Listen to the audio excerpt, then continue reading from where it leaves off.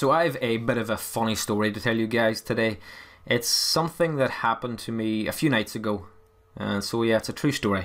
So sit back and relax and I'll try and set the scene. So it was Tuesday night and as usual I was sitting in my games room or as my kids call it, Daddy's Den. It was roughly about 10.30 I think and my wife had just popped in to say goodnight and give me a kiss, was heading upstairs to bed.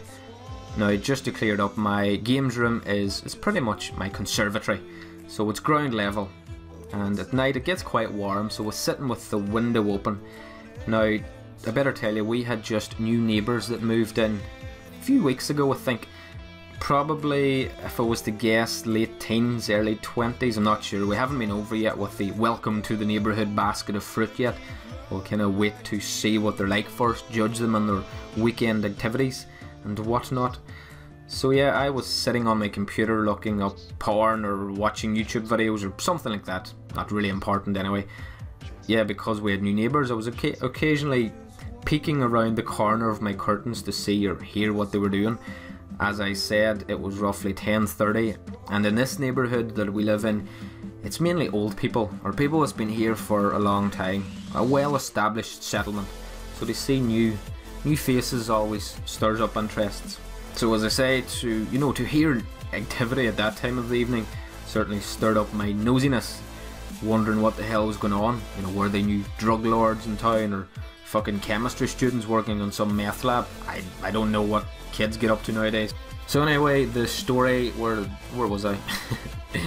oh yeah, sitting on my computer, blah blah blah, windows open, and yeah, all of a sudden actually a bang came to my window and it obviously made me jump because I was focused on, on what I was doing.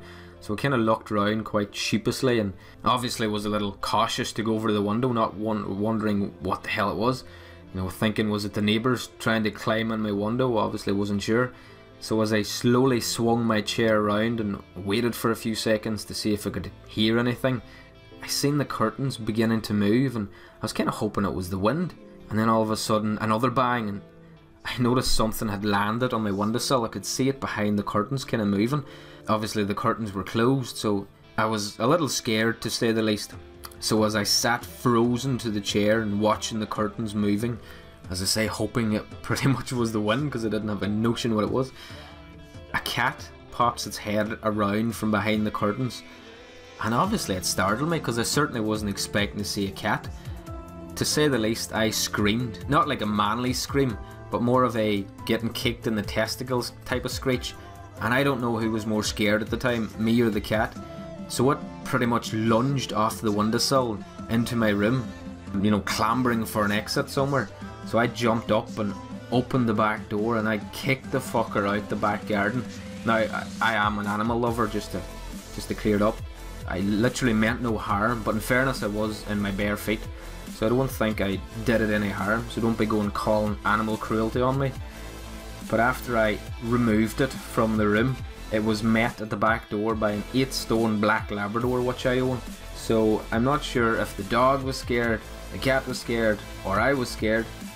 But the dog began barking, the cat began screeching, and I had possibly stained my pants.